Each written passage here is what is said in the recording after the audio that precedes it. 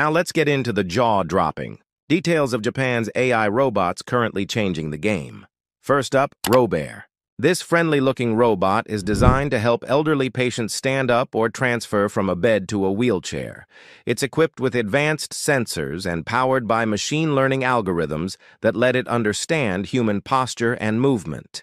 Robear isn't just about strength, it's about care, balance, and empathy. Then there's Pepper, the humanoid robot from SoftBank. You've probably seen Pepper greeting customers in retail stores, but by 2025, Pepper's capabilities will be much more advanced. Through natural language processing and emotional AI, Pepper can carry on full conversations, detect moods, and provide companionship to people in isolation. Next, let's talk industrial automation. Companies like Fanuc and Kawasaki are developing AI-driven assembly line robots that can not only execute repetitive tasks, but adapt in real time.